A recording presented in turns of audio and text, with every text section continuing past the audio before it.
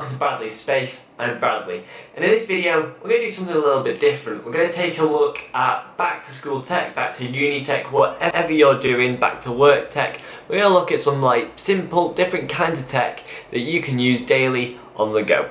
So a few of the items we've got are a couple pairs of headphones, earbuds and headphones. We've got a couple different types of laptops and just some necessities that I think you should have in your backpack. But let's not hang around, let's get right into it. So these are the items that I have chose. They're all really like easy to fit in a backpack and all of good use. So these are my first set of headphones, the Marley Positive Vibrations 2s, and I've just done a video on the channel about these. They are amazing for the price of £50. They look really good, comfortable, and quite light to carry around in a backpack or just keep around your neck for the day. But the problem is they're not very discreet if you want to hide that you're listening to music, or they can be quite awkward to carry. So apart from these really nice stylish comfortable headphones I've also included these. These are some Philips. I forget the brand but I'll put the link in the, the make but I'll put the link in the description. And they're really really good. They're really they sound really good. Not as good as the Marleys but they're really compact really easy to fit in a in your pockets and really robust.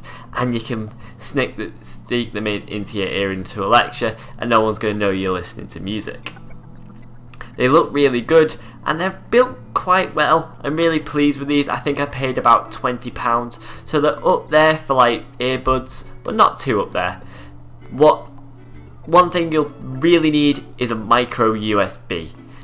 Or if you've got Apple devices, you'll need an app a lightning cable. Just keep one of these in your bag, it'll come in handy because it even charges the headphones.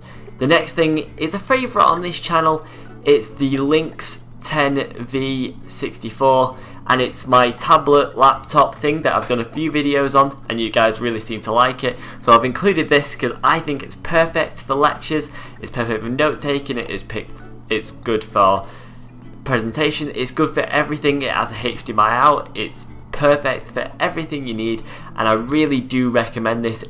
I've had it for months and months now and I'm still not bored of it. It's really light it's really easy to carry around. The design of it's really slick.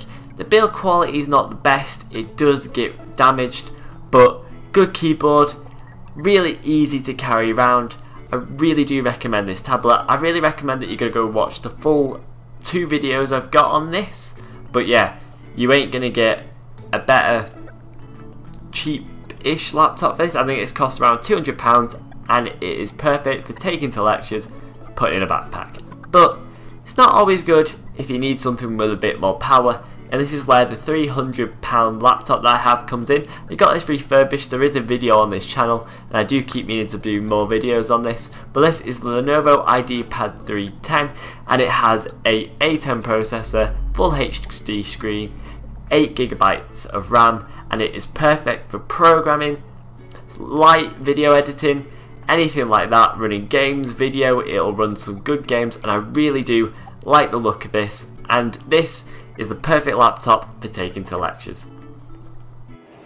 So there it is, that's what I carry around day to day. Sometimes I'll take one thing out, take one thing in, only carry around one laptop, that kind of thing. But they're the kind of things that I take with me and they're the things that I find help me with my uni course. So if you've enjoyed the video, hit the like button. Don't forget to comment what you want to take. Don't forget to ask questions. All the product links will be in the description. Thank you for watching. Don't forget to hit subscribe. Goodbye.